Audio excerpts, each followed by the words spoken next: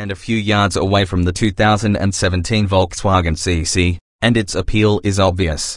With sleek coupe styling wrapped around four doors, the CC's exterior design stands out as one of the most interesting among midsize sedans. Inside, the CC cabin impresses with near-luxury features and fit and finish. A 200 horsepower turbocharged engine and 6-speed automatic transmission pairing feels quick and refined, and sounds terrific. But just as the CC, Comfort Coupe, tempts with shapely lines and smooth power delivery, it does have limited, tight interior space, awkward sight lines and a higher price versus more conventional sedan alternatives.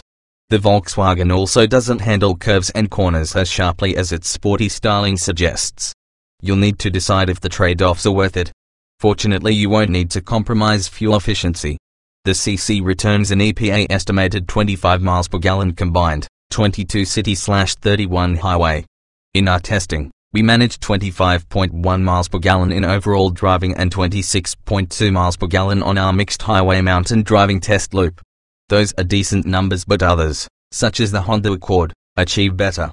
What's new for 2017? The Volkswagen CC adds standard adaptive cruise control, forward collision warning, automatic emergency braking and lane departure warning to the R-Line executive trim. The sport model gets interior enhancements including ebony trim and chrome accents. The Trend, R-Line and V6 executive trims are discontinued. The manual transmission is also discontinued. We recommend the R-Line Executive's leather upholstery and adaptive cruise control and ice, especially for long-distance commuters. But with keyless entry, heated seats, Bluetooth and satellite radio, the Sport has the basics covered, and saves you about $3,000. Trim levels and features The 2017 Volkswagen CC is available in two trims, Sport and R-Line Executive.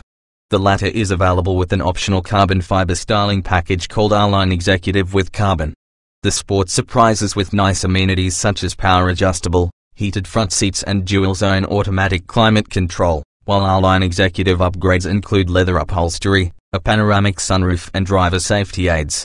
For the same price, the R-Line Executive with Carbon adds gloss black exterior and carbon fiber interior trim.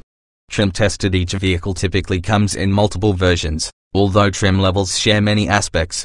The ratings in this review are based on our full test of the 2014 Volkswagen CC R-Line, 2.0 liters 4-cylinder, turbo, 6-speed dual-clutch automatic. Scorecard overall 3.0, 5.0 driving 3.0, 5.0 comfort 3.0, 5.0 and interior 3.0, 5.0 utility N, a technology N. A driving rating the CC's overall performance is acceptable, but several more affordable midsize sedans are quicker and handle the same or better. Comfort rating the ribbed covering on the CC seats doesn't look inviting, but the buckets are actually quite comfortable. This is a generally quiet cruiser, but we heard more tire and suspension noise during urban driving than we expected. Interior rating You'd think the CC's low-slung roofline would mean a neck-wrenching lack of headroom, but the low-placed seats help. The interior is well put together and looks nice, although storage space could be better.